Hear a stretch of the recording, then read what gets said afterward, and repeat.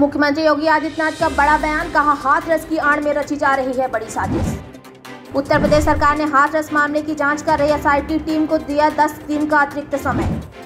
गोरखपुर नगर निगम board की बैठक में सपाइयों ने किया हंगामा, सदन का किया बहिष्कार।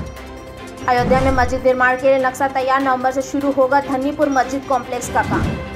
हाथरस पीड़िता, भाई और आरोपी संदीप के बीच छह महीने में 104 बार हुई बातचीत, एसआईटी कर रही है जाँच।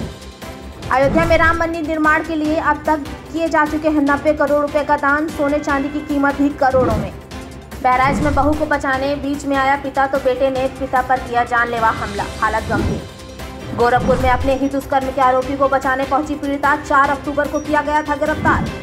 कानपुर के उन्नीस हज़ार से अधिक शिक्षकों को मिल सकता है बड़ा हुआ मानदेय। हाथरस कांड को जाति संघर्ष की आग में छोकने के लिए मॉरिसस से हुई थी 50 करोड़ की फंडिंग।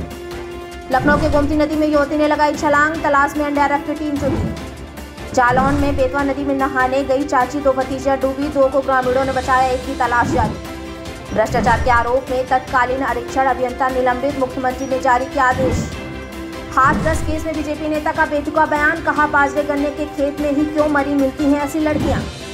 जौनपुर में अस्पताल की तीसरी मंजिल से कूदकर कोरोना बुज़ुर्ग ने दी जान। हाथरस कांड में आप विधायक कुलदीप कुमार पर एफआईआर दर्ज, कोरोना पॉजिटिव होते हुए पीड़िता परिवार से मिलने का आरोप। बिजली विभाग के कर्मचारियों का हड़ताल समाप्त, निजीकरण का फैसला तीन महीने के लिए टला कर्मचारी काम पर लौटे। कुशीनगर में शव रखकर प्रदर्शन कर रहे सपा नेता गिरफ़्तार, धारदार हथियार से हुई थी दंपति की हत्या।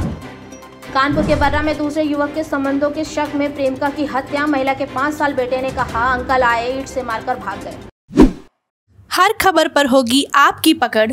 सब्सक्राइब करिए हमारे चैनल विद्रोही आनंद को और बेल आइकॉन दबाना न भूलिए।